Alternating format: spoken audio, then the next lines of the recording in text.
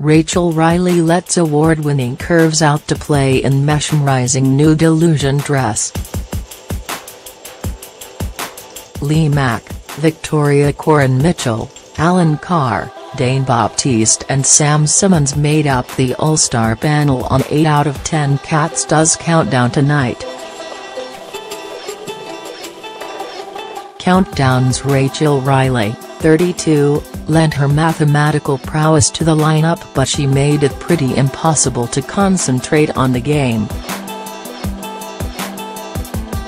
The Strictly Come Dancing 2013 star donned an eye-popping nude illusion frock which showcased her every curve.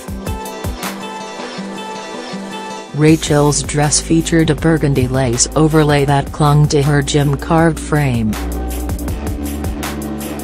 Underneath, Rachel who is in a relationship with strictly professional dancer Pasha Kovalev rocked a nude underlay which gave the illusion that she had gone starkers beneath the risque get-up. Oh, you meant the holes in your dresses? Jimmy Carr the Oxford graduate completed her look by wearing curls in her blonde tresses and opting for natural makeup.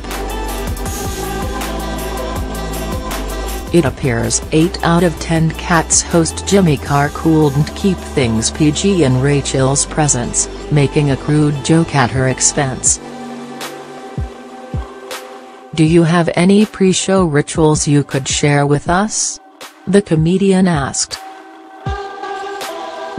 Rachel replied, well before I leave, I have a shower and they do my hair and makeup and then after that a bit of fake tan, and then as the day goes on they color the holes in they've got it down to an art. Jimmy looked totally floored, while the audience members chuckled in the background. Rachel then explained that they film five shows in a row and when it's winter they'll get a spray tan for when the taping airs months later. She continued, a lot of my dresses are a little bit odd and they have different holes and cut-out bits so you just have to color them in.